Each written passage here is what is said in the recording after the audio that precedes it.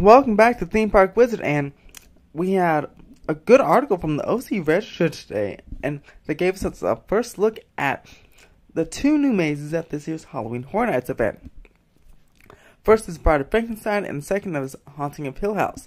I'll do Haunting of Hill House in the second video tomorrow, so definitely subscribe for that. But today we're going to take a first look at The Bride of Frankenstein Lives. This is the first time this maze is debuting, or coming to Halloween Horror Nights Hollywood. Let's take a look. That first uh, picture was John Murdy and Frankenstein standing outside the now very well known and iconic facade.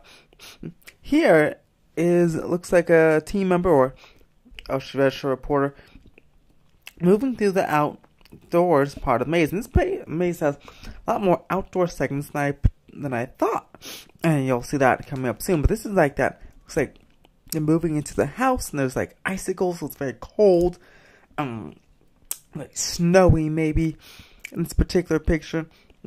Then we move on here to looks like another outdoor segment of this maze, and there's Frankenstein. Looks like a dead Frankenstein body, maybe a corpse, or maybe it's just Frankenstein just sleeping. I don't know, but it looks like he's like dead.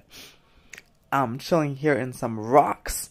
Um, but again, you can see the sunlight, so it's another outdoor segment, which I guess it makes sense. Like, the classic monsters mazes in the Parisian courtyard have always had a lot of outdoor areas. This obviously won't be sunny when you're going through the maze because it'll be dark, but just something to keep in mind. That also might be, let's see, a little open area box right there, or just an open area. That might be a potential scare coming through.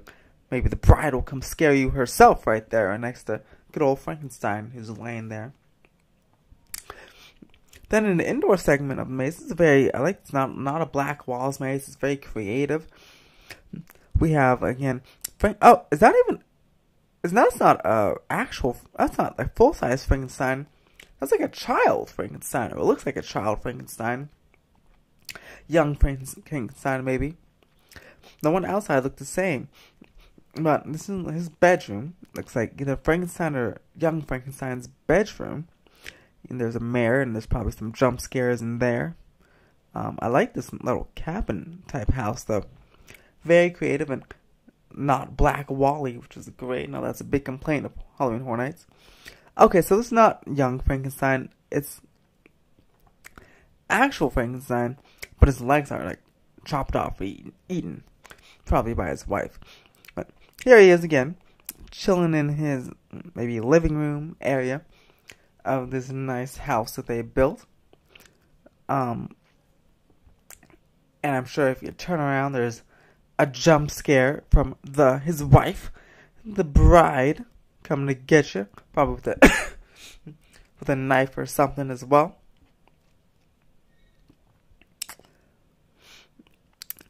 And in this room, you're in the obviously in Frankenstein's castle here, and there's just a whole bunch of stuff, a whole bunch of old antiques and old stuff. But I really like that that castle like um, window there.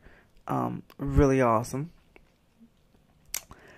And I just love this vibe and really cool theming in this maze. Like, it's gonna be like a fun one to I probably won't be able. I probably won't be able to film it, but if I want enough to walk through, as well as get jump scared as well, that'd be really cool.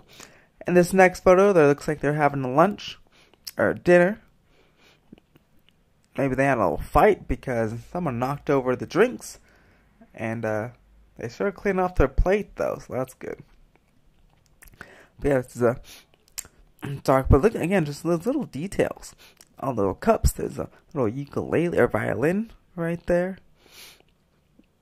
And looks there's still some uh, maybe a dessert. Is that a cupcake? That plate in the little darkness over there.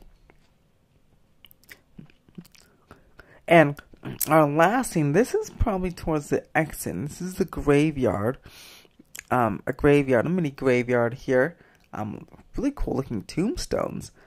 Um, but yeah, I bet you this is near the exit of the uh, attraction. And again, back in the outdoors, it'll be like a, I feel like it's be like a 50% outdoor, 50% indoor maze. Just going by the tour we got here. what they're they're allowed to take pictures of.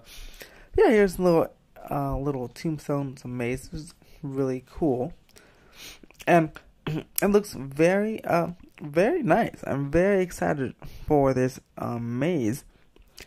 Just one week away, basically a week and two days from opening night. September 9th is that opening night of Halloween Horror Nights, and that's super exciting. I cannot wait to be there on open night to see it, and I hopefully I get to film this maze, but um, I may not be able to, but I'll definitely be enjoying it. But yeah, what do you guys think, think of Bride of Frankenstein? Let me know in the comments below. Subscribe for uh, more maze looks like Haunting of Hill House, which will be tomorrow, and a Halloween Horror Nights construction update, our last one, um, coming this weekend. Probably up on Saturday or Sunday, but it'll be a long weekend, so maybe even Monday or Tuesday. Uh, as always, have a fantastic day.